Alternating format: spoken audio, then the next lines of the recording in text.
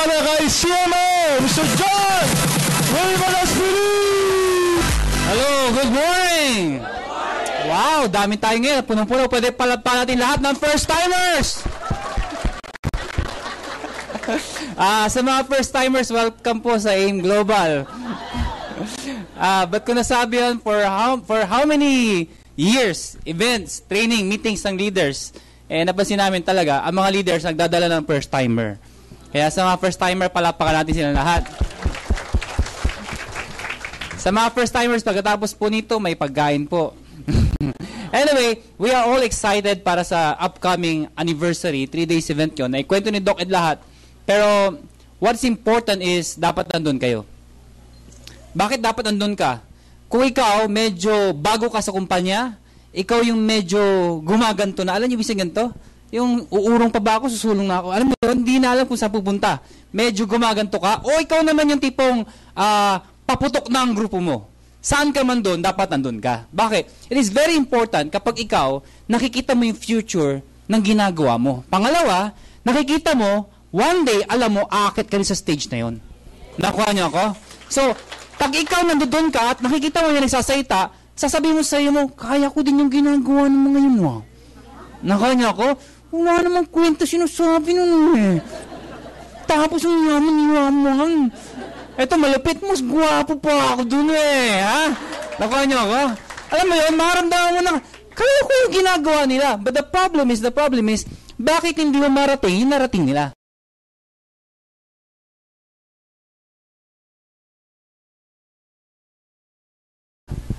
Tama mali. Well, maraming factors bakit. Pero the most important thing, hindi lang ikaw nandun, pati grupo mo nandun.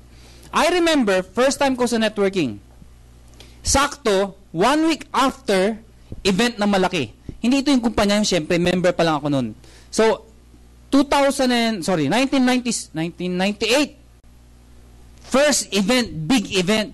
Alam mo yung upline, kinoconvince kaming lahat na umattend. Alam mo na sa utak ko, woo, gusto nyo lang kumita yung kumpanya. Yun lang siya sa... Kasi wala pa akong grupo. Kaya sabi ko, inisip ko, ba't ako atin? Wala naman akong downline. Eh di ako lang yung mga baliw. Ang gusto ko, mabaliw. Yung downline ko, hindi ako, dala ko. Alam ko na yung sarili ko. Ganun ako mag-isip. So in effect, hindi ako umattend. Nung nakita ko yung video, tapos na, lahat, ako, lahat, baliw. Ako hindi. Nakatulala ako. Bakit hindi ako umattend? Yun ang tumatakbo sa isipan ko.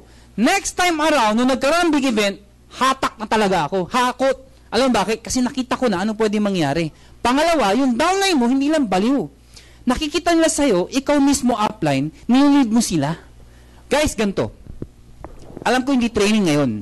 Kaya lang iniisip ko kasi, may mga leaders, minsan, hindi umaten ng mga event na ganun. Totoo. May mga downlines naman, o yung sub-leader, yung leader, may mga leader sa ilalim, hindi niya mapilit yung mga leaders niya na pumunta o umattend. Ba't yung mga itsura nyo? Ah, teka, leaders ba yung mga kausap ko? Yes! Ah, okay. Ah, nag, importante nagkakaintindihan tayo. Pero parang malakas dito sa side lang na to eh. Dito parang, parang walang konti lang eh. Ulitin ko, ah, mga leaders ba kayo? Yes! Parang may mga hindi pa rin sumigaw. Parang dududa eh. Sabi, oh, leaders ba kayo?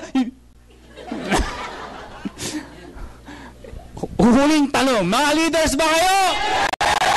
Yan. Alam mo, totoong leader, sumasagot. Tama mali. O, oh, tayo, hindi na naman kayo sumasagot. Guys, you have to lead your group. yeah. Yan, na, nasobrang leader yan. Nasobrahan, nasobrahan. Mga kaibigan, you have to lead your group. Pagdating ng event, make sure ma-identify namin kami, naging leader kami, maging networker kami. Na-identify namin sinong group ang intact. Sinong group yung may leadership, yung upline. Makikita mo eh, sino yung masaya, sino yung, alam yon yung nag-prepare talaga, nag-isip talaga anong gagawin sa event. Nakuha niyo ako? At makikita mo rin, sino yung parang, pag tinawag yung grupo, ang worst yung upline, wala natatago pa. Naging leader din ako. Pag ang grupo, nagsigawan, syempre proud ka. Grupo ko yan. Tama? Eh pag yung, ah, ikaw naman, ah, di ba? Para ayaw mo sabihin, hindi, hindi ko grupo yan, hindi ko grupo yan. Tama mali.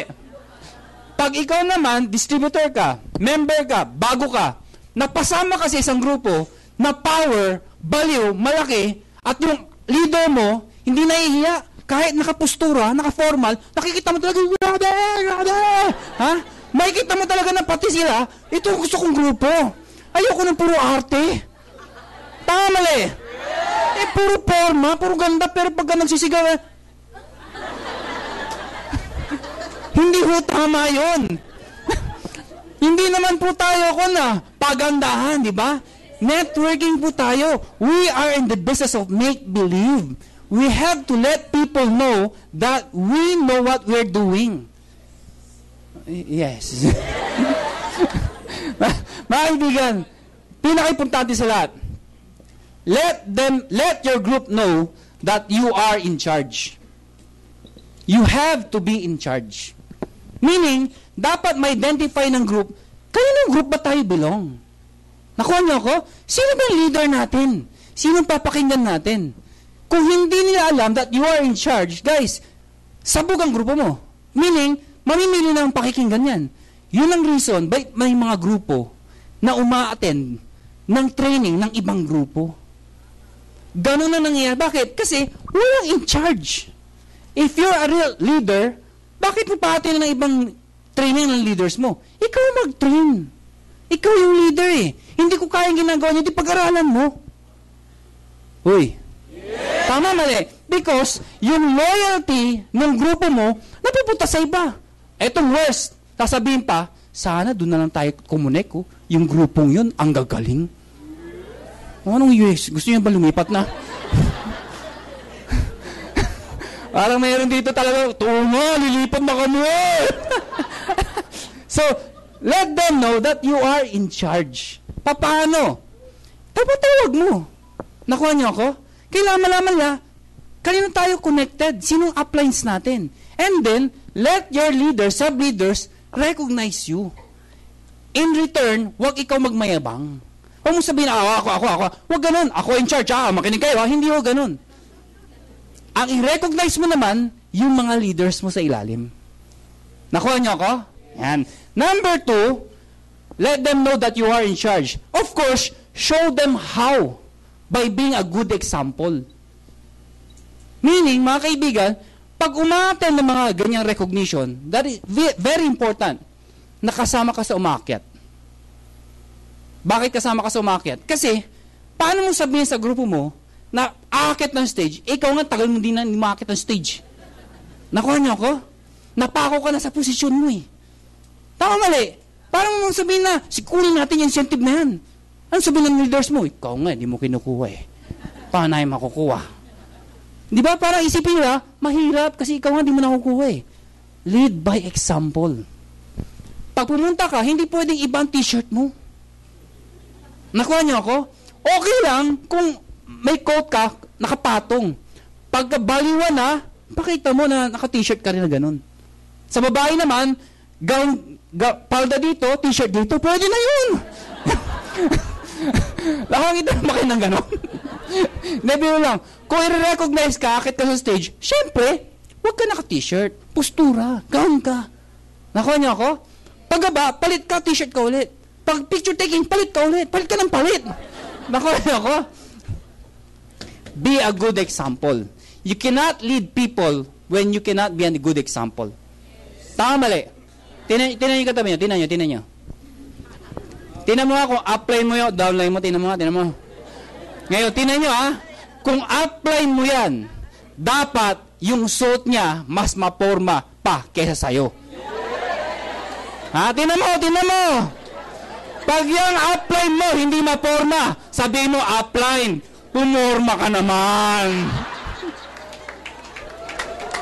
Tama mali. Tama! Leaders meeting to. Leaders meeting. Dapat, as an upline, lead by example. Tama, sabi, hindi, t-shirt, t-shirt na ako ni, what? Orange siya. eh." Hindi, okay, okay, wala problema to, wala problema yun. As sabi ko lang, ah, alam mo yun, Ma- ya, tamaan. Ayoko nang dagdagan. Masakit, masakit, masakit. Ayoko nang dagdagan. Number three. Number three, of course, you should know their weakness and their strength. Alam mo, ang tao, strength. strength yan, pare-pareho lang yan. G-T-H-O, yan o. Oh. Dapat ma-identify mo ang group mo. Makilala mo anong weakness, anong strength.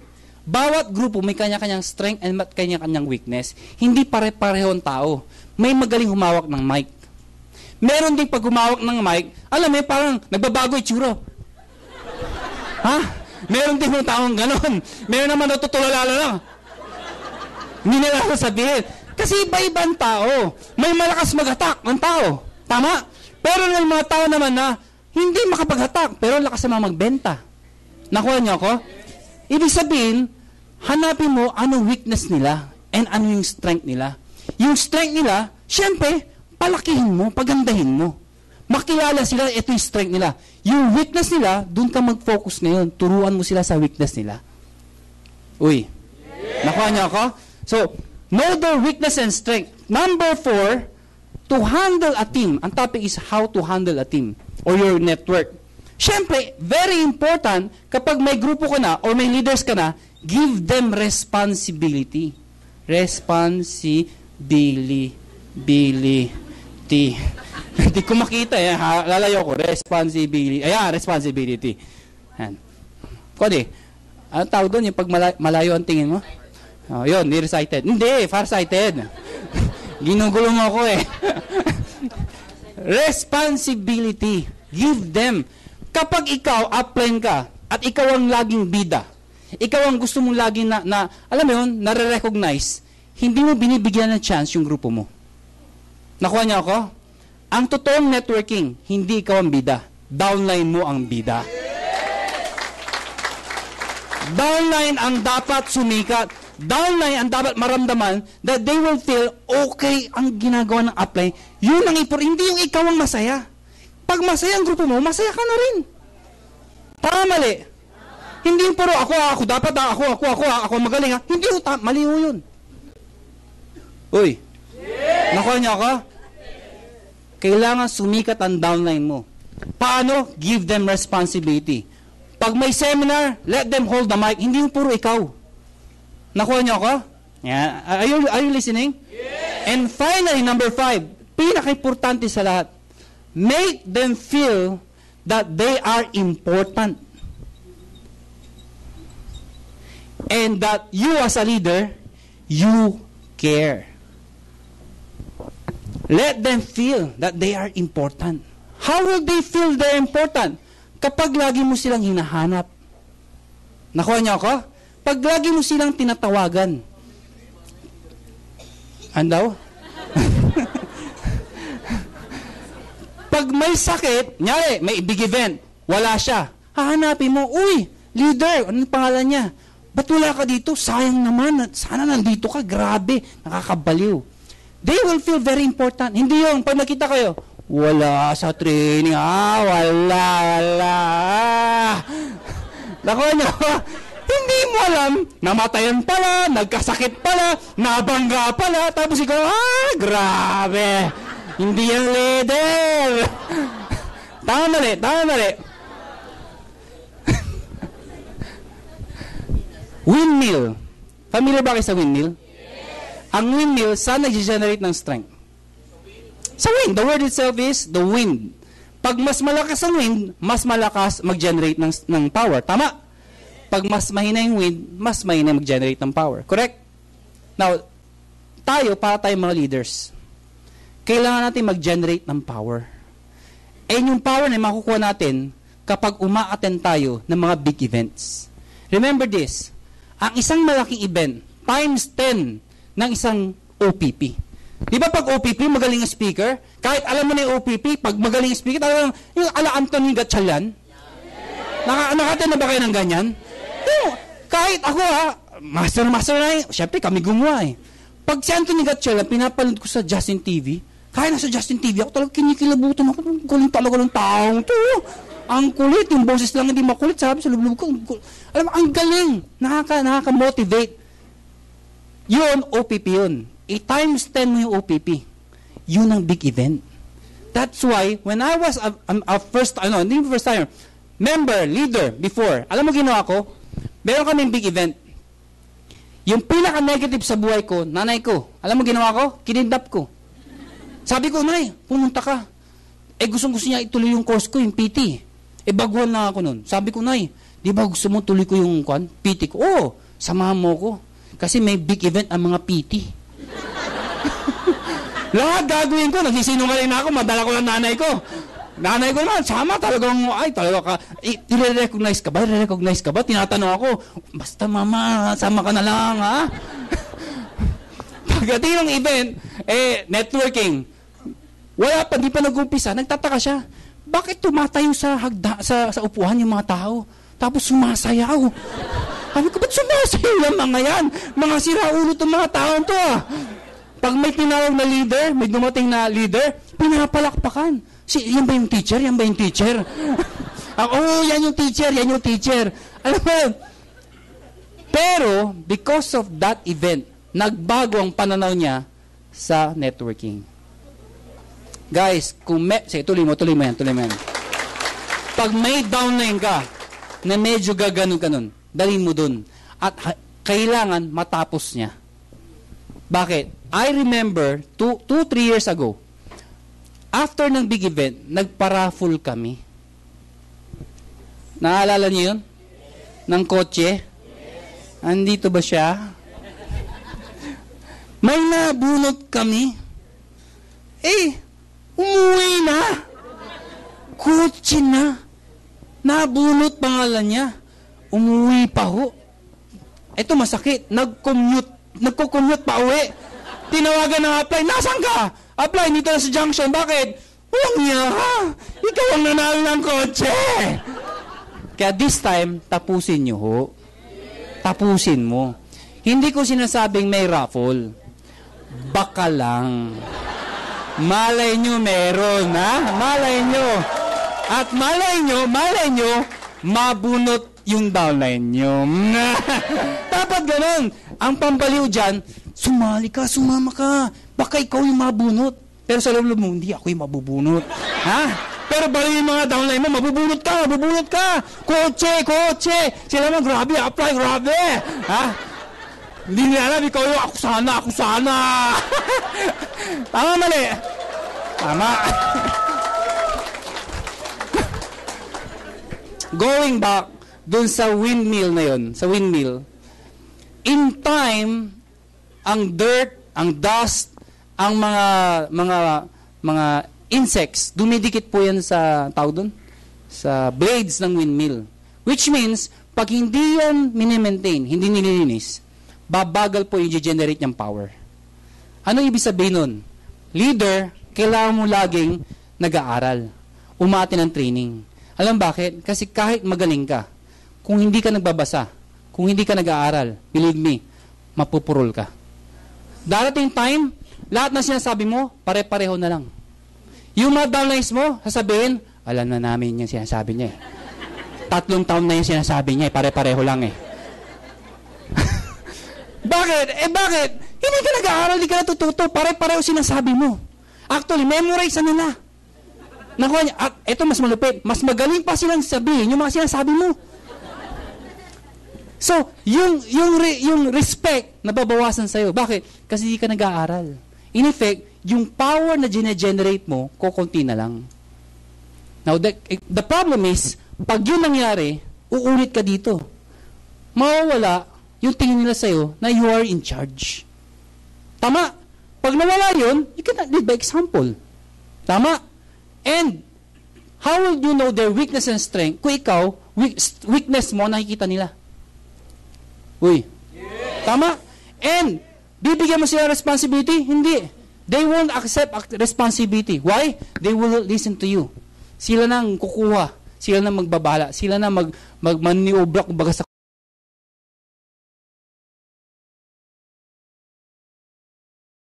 kotse. And finally, they will feel that they are not important to you and that you don't care.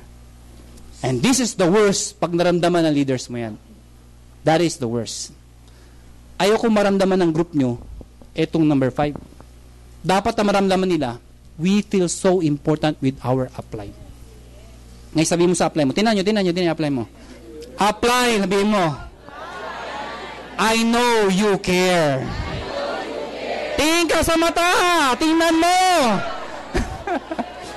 apply. I am important. Apply. Payamanin mo ako. Yun! Ha? That is the real essence of networking. So, ang question ko, aaten kayo hindi? Mag-aakot kayo hindi? Ang tanong, may ticket wala? Yun lang. Yun lang. O nga pala mga kaibigan, may, may konting mga issues about tickets, may mga konting issues, pero ang the problem is this, malit yung, malit yung area. Hindi, hindi talaga tayo kasya.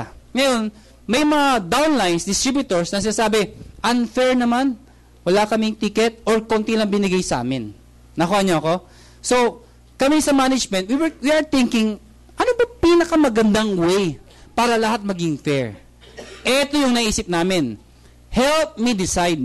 Since leaders kayo, kayo mag-decide. Ito yung idea. For example, uh, magsabi kayo na isang group, name ng group.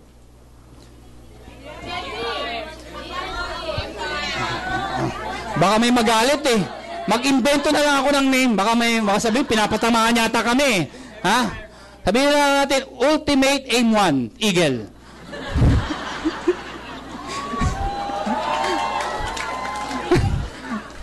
Eagle VIP. Pagsama. okay. Sabi ma- ito grupo mo. Okay? Ngayon, ito yung leader. Magsabi tayo ng pangalan leader. Mahirap yun. ah. Joseph Langurayan. Langurayan. Yung nasa gitna, I. Ebdane. Oh, okay ba to? Okay ba to? Ang nickname, Carlo. okay, anyway, pag ikaw leader ka, ang gagawin namin, bibigyan namin, normally, binibigyan namin ng ticket sa pinaka-upline. Tama? Yung upline ngayon, siya yung mag-segregate para sa ganito, sa ganito, sa ganito, sa ganito. Nakuha niyo ako? The problem is, may mga grupo na sa dulo na, di nabibigyan. Tama? And naging apply din ako. Siyempre, automatic, pag binigay mo sa akin, unahin ko yung weak leg ko.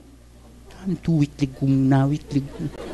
Ha? Strong leg, unti lang. Unti lang. Ha? Bakit? Siyempre gusto ko weak leg. Tama, tama mali, tama mali. Tama, tama.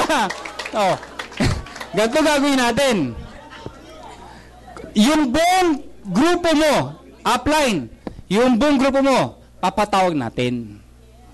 Ngayon, gagawa tayo ngayon ng meeting. Ang management nandito sa harapan. Hindi not necessarily ako. Pero part of the management nandun. Yung apply ngayon nandyan. Ibibigay namin yung ticket sa kanya. At yung part of management, hindi alis. Ano doon pa rin? Nakuha niyo ako? Ang gagawin niya ngayon, isisegregate niya yung ticket sa harapan ng mga taon to. Meaning, kung ikaw downline ka, syempre, oh, nandito ako, hindi pwede hindi ako bigyan. Sumbong kita. Naka niya ka? Yan. Ngayon, syempre, bago kayo bigyan, hindi naman pwedeng pantay-pantay ang bigay. For example, ikaw, ang grupo mo napalaki. Itong isang distributor, malit ang grupo. Hindi naman pwedeng 200 dito, 200 din sa'yo. Ang sagot ng mga mahina, yun na nga, mahina na kami, dapat mas marami kami. Hindi ho ganun yun. Nakuha niyo ako? Yan. Ang tawag doon, pro-rata. So, pag-uusapan ninyo ngayon, gaano karami. Kung hindi nyo maintindihan, huwag kayong mag-ala. On the meeting itself, yung part ng management, tuturuan ho kayo, ano tinatawag na pro-rata. Naintindihan nyo ba hindi? Hindi? Hindi. Oh, basta, yun. Naintindihan nyo na. Okay, anyway, marami kaming gusto sabihin, pero the most important thing is, dapat excited kayo. Are you excited for the event? Are you excited for the three events? Are you going to buy the VIP tickets? You have to be a VIP. Parang team lang yun, oh. O lumipat tayo sa VIP. You have to be a V- uh, VIP. Masarap po yung feeling pag VIP ka. Kumbaga, I remember when we were in Paris. Alam mo yung Eiffel Tower? Millions ho ang umaakyat dun. Thousands ho ang umaakyat every day. Ang pila, sobrang haba. Pero pag VIP ka, I remember nung pumunta ho kami, kasama na yung mga delegates, sila Maylin, sila Joseph.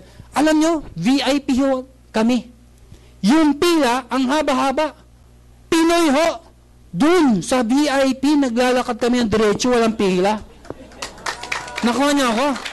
Yung mga, yung mga foreigners, Americans, mga big time ho, napapatingin ho sa amin. Kami din, napapatingin sa kanila. Parang tataka kami, bakit wala kaming pila?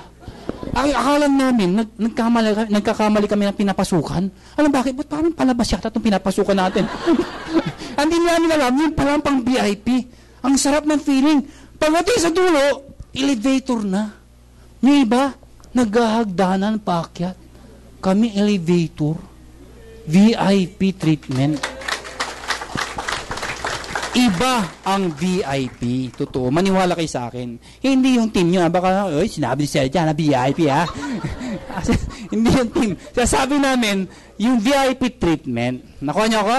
Well, of course, during a big event like this, hindi mo maiwasan, may mga issues, may mga concerns. For example, bakit ang tagal, hindi kami papasukin, tagal-tagal na? Well, we would like to ask for an apology. Tama ba yung grammar ko?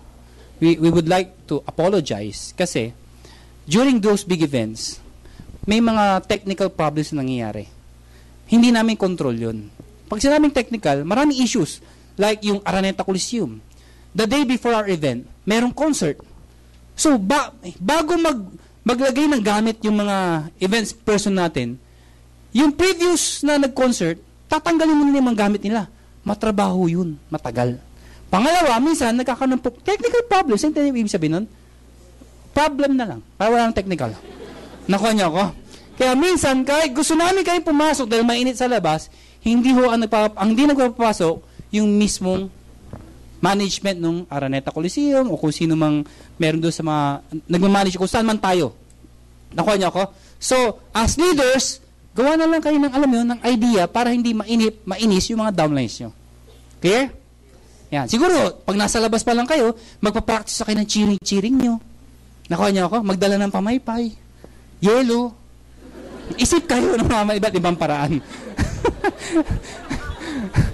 anyway, wala, ma, wa, yun lang ang gusto ko sabihin. So, guys, sa coming event, we would like you to be prepared as a group, as a person, and of course, at the same time, gusto namin yung downline show, nandun, nandun kayo, and please, mahaba po ang event. Mahabang event, I know. Yung iba, hindi nakikinig, may nag-share, nagkikwentuhan. Pag one day ikaw din nagsalita, di ba gusto mo nakikinig lahat ng tao? Yes. So mga kaibigan, respect the people who speaking in front. Nakuha niya. At the same time, ang success ng isang event lies, this always lies. Magaling o hindi ang speaker. Ang success ng event lies sa crowd, sa audience. Kaya pag leader ka, nakita mo medyo patay na, buhayin mo. Yes! Ang speaker naman, pag buhay ang crowd, ginaganahan. Yan! Ganyan! Ha? Pag hindi buhay ang crowd, ang speaker, walang kagana-gana. Patay. Pag patay ang speaker, itsura mo, lalong mamamatay. Ang dalay mo, wala na, tulog na. Clear? Clear ba yun? Yan. So, mga kaibigan, yung lagi ko tuturo, pag papalakpak kayo, hindi ganito. Taas ang kamay. Ako muna. At may kasama, Woo! Ah, sabay-sabay ha. One, to, ang hindi pa po, hindi pa palakpak, may putok. One, to, palakpak! Yan, ganyan. Ganyan ang parang palakpak. Ha? Mula umpisa hanggang dulo, ganyan ang palakpak ninyo. Yun ang totoong leader. Yun ang totoong leader.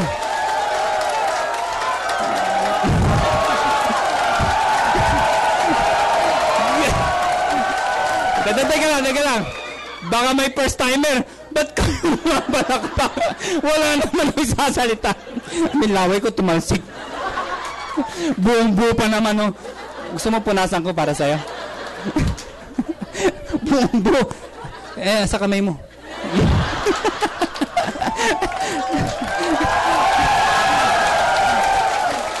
Tatawa-tawa yan, pero mamaya. Ayun ba yun? Natutulog yun. anyway, good morning sa inyo lahat and hope to see you.